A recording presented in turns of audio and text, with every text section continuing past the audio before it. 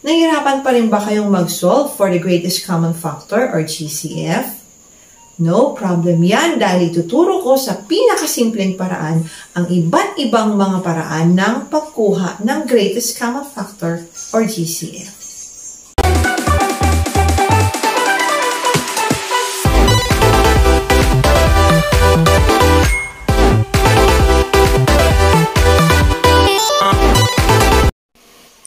Okay, so we go to the first method. Actually, there are a lot of ways on how to get the greatest common factor. Let's start with the listing method. Pag sinabi nating listing method, we are going to list down all of the factors. Remember, pag sinabi nating factors, ito yung imo-multiply mo to get that number. So, for example, 12. What are the factors of 12? We have 1 and 12. We have also 3 and 4 and 2 and 6. Okay? How about 8? We have 1 and 8. We have also 2 and 4. Wala na. How about 10? We have 1 and 10, 2 and 5. Now, let's identify the common factors that they have. So, meron silang 1 lahat. Meron silang 2. Meron pa ba? Yung 4 naman, wala naman sa 10. So, we have only two common factors. So, which is larger here? Which is greater? So, we have 2. Therefore, the greatest common factor of 12, 8, and 10 is now 2. Another example for the listing method. How about 27, 15, and 21? Again, we're going to list down all of the factors. Ano yung mga ano ano yung mga factors ng 27? So we have 1 and 27. Um, we have also 3 and 9. Meron pa ba? Wala na. How about 15? We have 1 and 15. 3 and 5. No more. 21. We have 1 and 21. 3 and 7. So again, let's identify the common factor that they have. So, 1. Meron ba silang 3 lahat? Meron. Meron pa ba? Wala na. So, ano yung mas malaki dito? Ito yung 3. Therefore, the greatest common factor of 27, 15, and 21 is 3. Now we go to prime factorization. If you're not still familiar with prime factorization, you may visit the link above which is posted right now. Yan, ituturo niyan sa inyo kung paano ang mag-solve for the prime factors of numbers. So, let's take the same set of numbers para tignan natin kung pareho yung makukuha natin sa other method. So, The most commonly used prime factors are 2, 3, ano ba yan? 3, 5, 7, 11. Ito yung mga pinaka-common. So, the prime factors of 12 are 2, 2, and 3. Okay? How about 8? Prime factors are 2, 2, and 2. Okay, if you notice, hindi ko siya inilagay dito sa ibaba ng 3 dahil hindi naman sila kaparehong, hindi sila parehong number. So, i-align mo sa different column. How about 12? Ay, 10. 2 and 5. Dito ko na, na naman ilalagay itong 5. So, next step is for you to identify the column which is complete. Oh, kompleto siya, di ba? Wala siyang bakante. Therefore, we have now the greatest common factor to be 2. Okay, another example. Using set ulit, 27, 15, and 21. Okay, so prime factors of 27 are 3, 3, 3. To check if your, your prime factors are correct, you're just going to multiply each of the factors. 3 times 3, 9 times 3, 27. Yan. 15. We have 3 and 5. Dito ko na naman ilalagay si 5. 21, we have 3 and 7. Okay? Ano yung kompleto? Ito yung kompleto. So, the GCF is 3. Kapareho rin ng nakuha natin dun sa first method, which is listing method. Now, how about if this is the case?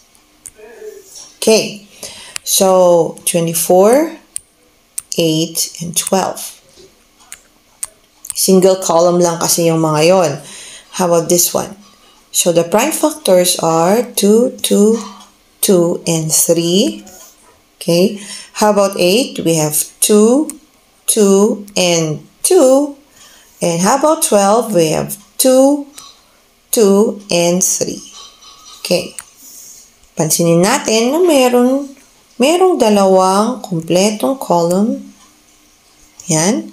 Therefore, we're going to bring them down and multiply.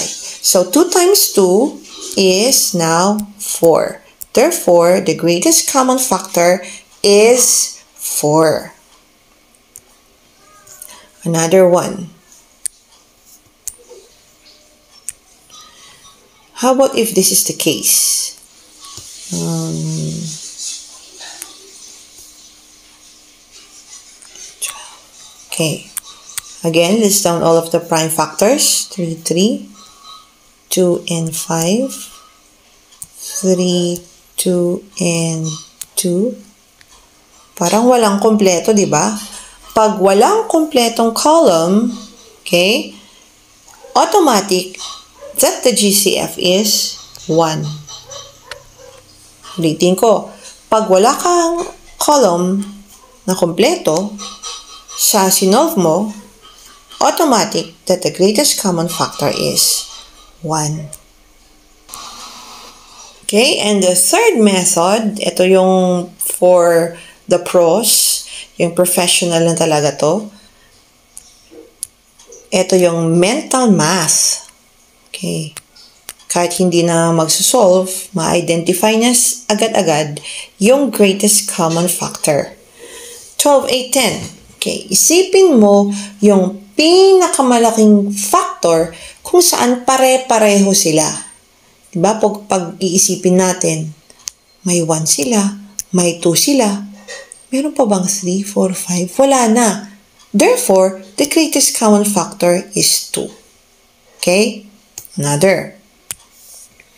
Yung 24, kapag kabisadong kabisado mo na yung multiplication table, madali lamang to. So, 24, 8, and 12. Again, you have to think, ano-ano kaya yung mga common factors niya? Ha, meron siyang 1, meron din silang 2, meron ding 4. Meron pa ba? Wala. So, ano yung pinakamalaking number na pwede mong i-divide sa kanilang tatlo? Ito yung 4. Okay. However, if you are not still so familiar with the multiplication tables, um, um, go back to listing or go back to prime factorization, okay, for you to be sure. So it's time for you to solve for the greatest common factor. You may pause the video, then come back for the solution. You may use any method. Kahit anong method na sa inyo ay comfortable. Okay? I know you're done, so let's solve. Ang gagamitin natin ngayon ay yung listing method. So we have 8 and 2, 16 and 1, another pair, 4 and 4. How about 32? We have 1 and 32. We have also 2 and 16 right? We have also 4 and 8. Do we have some more? Wala na. How about 40? We have 1 and 40, 10 and 4, 8 and 5. We have also 20 and 2. Now, what are the common factors? We have 1, 2, How about 4? Yan, 4. Meron pa ba? Meron pa. Meron pa. 8. Okay. So, what is the greatest? Hmm, so 8. Therefore, the greatest common factor of 16, 32, and 40 is 8. I hope that you got it right. Next set. May you look for the greatest common factor. Again, you may pause the video, then come back later. Okay, now that you're done, we have to try, how about prime factorization method? So let's list down the prime factors.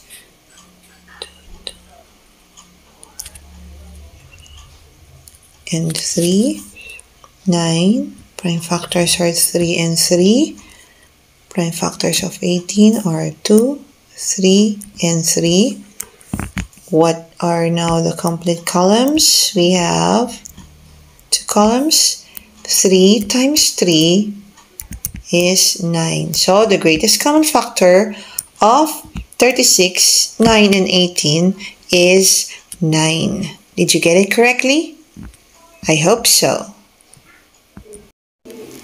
Did you get the correct answer? Well, I hope so. Okay, and the last how about for mental math? Hmm, 25, 15, and 40.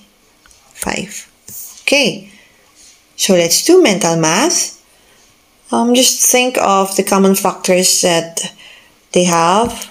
We have 1, 2, 3, 4, 5. We have 6, 7, 8, 9, 10. Wala na. Therefore, The greatest common factor of 25, 15, and 45 is now 5.